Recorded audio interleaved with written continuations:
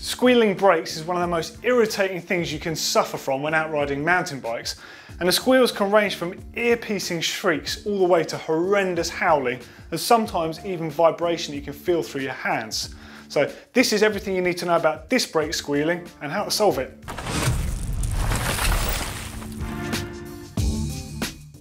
So firstly, what causes brake squeal? Usually the culprit tends to be brakes that haven't been bedded in correctly. And the bedding in process itself, the whole point of it is to deposit some pad residue from the pad onto the disc rotor. And if this hasn't been done correctly, you'll get an uneven amount of pad residue on the rotors, and that causes sort of microscopic sort of waves along the disc rotor, of which the brake pad itself will vibrate, and that vibration turns into squealing. Now the other thing that can make your brake squeal is oil contamination. Now this can happen in a variety of different ways because there's so many different sources of oil on a bike. The most likely one is that the banjo or the cable itself, at the front caliper in particular, could be leaking onto the pistons and the brake pads. So make sure that all of the relevant bolts are tight and you've got no oil leaks and make sure you check up at the brake lever as well because the oil can just travel down the outside of the hose. Same goes for the back, make sure they're always clean and there's no sign of any sort of standing oil. The next one is a bit of an unusual one, but it's actually something that does affect a lot of people and it's handling the disc rotors themselves with your bare hands. Now you could have touched oily stuff on your bike and you transferred it over or you could just have slightly oily skin. Now that does actually have quite an effect on squealing of brake pads. So the final thing to take into account is if you use any kind of spray lubricant or water displacer on your bike. When you spray that, even like breezy days can transfer that sort of mist all the way towards your disc rotors. Be super vigilant when you're doing this because the tiniest bit of that oil mist can really ruin your brake pads and rotors. So those are obviously the two main candidates for brake squeal, but there is one more and you tend to hear this in bike parks around the world where people are cooking their brakes and they're on the brakes hard all day long. Now that is vibration that's being transmitted through the frame. Now you are seeing on some people's bikes you're seeing vibration dampers and they help sort of dampen out that vibration so the brakes don't squeal, you don't feel as much of it through the bars. When I was checking out Gee Atherton's Pro Bike in Whistler earlier this year, he had a little custom brake damper fitted. If you check that out, it's a really cool bit of tech, but you're talking literally a handful of bikes that are gonna suffer from this sort of problem. So there are also a few alternative methods for stopping brake pad squeal. I probably wouldn't do these myself, but up to you if you want to try these. So a classic is to use copper slip on the back of your brake pads. So this is something that comes from motorbikes and the world of cars, and the pads themselves can vibrate, which causes some kind of squealing. And copper slip, if you put it on the back of the pad, so that's contacting the piston, the tiniest amount, and it just forms a little barrier and helps absorb that sort of motion. So apparently it works really well, but I wouldn't be inclined to put any sort of grease or lubricant anywhere near my disc brake pads. Okay, so two other methods that I certainly wouldn't recommend that apparently work quite well is to soak your brake pads in some sort of alcohol and burn the solution off completely. Um, apparently that gets rid of the residue and no more squeaky brakes. And a blowtorch has also been mentioned as well. Um, you shouldn't really play with fire, you're gonna get burnt, aren't you? So this is how you stop your brake pads squealing. Bear in mind that this is not going to work for you if your brakes are contaminated with oil.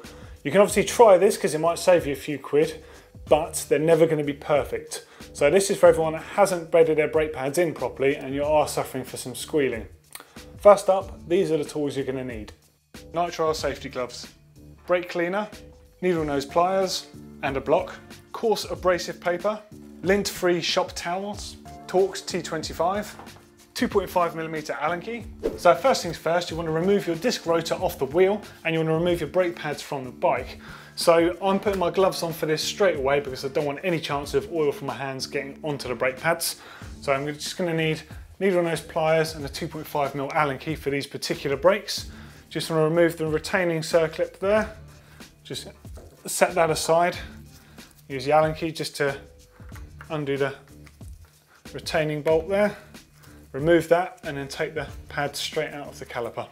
So using the Torx T25, just undo your disc rotor bolts, remove these, put these aside and remove the rotor from the bike. And then the next step is to start cleaning.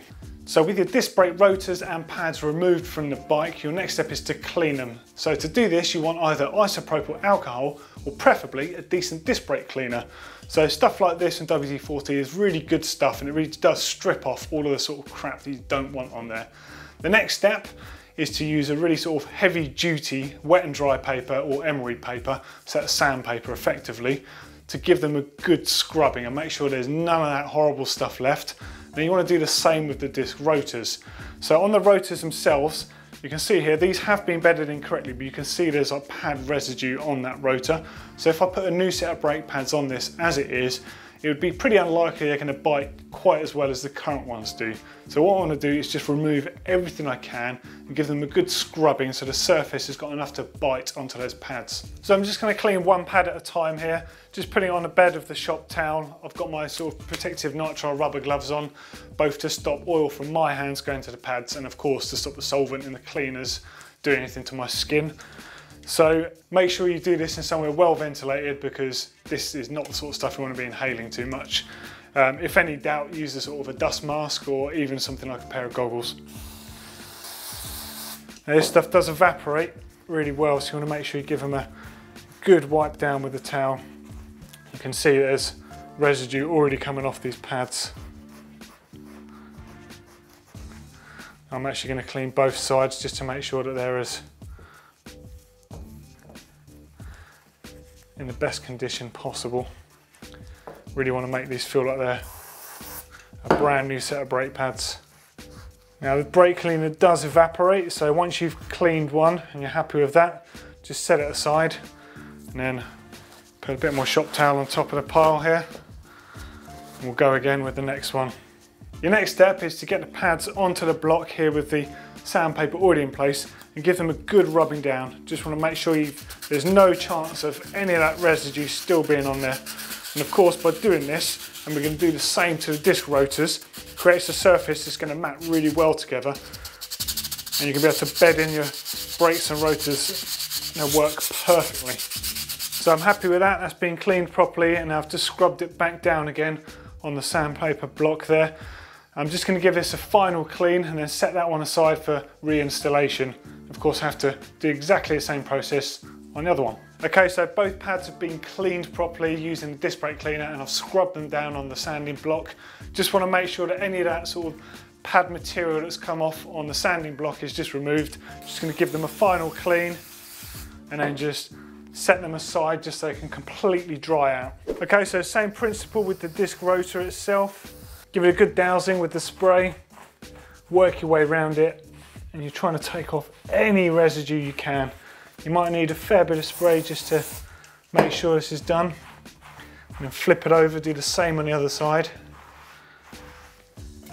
So with a fresh bit of paper on the block, work your way around the whole disc rotor braking surface and you just want to sort of roughen this up. And the idea is that that will mate really well with the roughened up brake pad surface and you'll get that good residue transfer.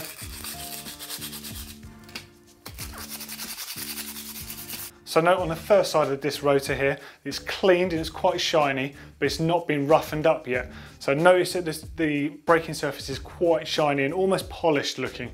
What you want to do is roughen it up so it actually looks like this side here that I've roughened up. And you'll notice that the shininess is gone. It's very much sort of a, a, satin matte finish on there and it's quite rough to the touch. That is exactly what you're looking for because that mimics what a brand new disc brake rotor feels like. So there you go. So I've restored the braking surfaces on both the disc brake pads and of course the rotor itself on both sides. So all I need to do is reverse the process of removing them from the bike to put them back on and then I want to head out and bed them in properly. So hopefully this has been useful for you and if you want to find out how to actually bed those brake pads in, click right down here. That's a perfect video for you. And if you want to find out about the vibration damper that I was talking about on Gee Atherton's bike, check right down here for the Pro Bike on his bike. Of course, make sure you click on the globe to subscribe. Brand new content coming at you every single day. And of course, if this video has been helpful for you, give us a thumbs up.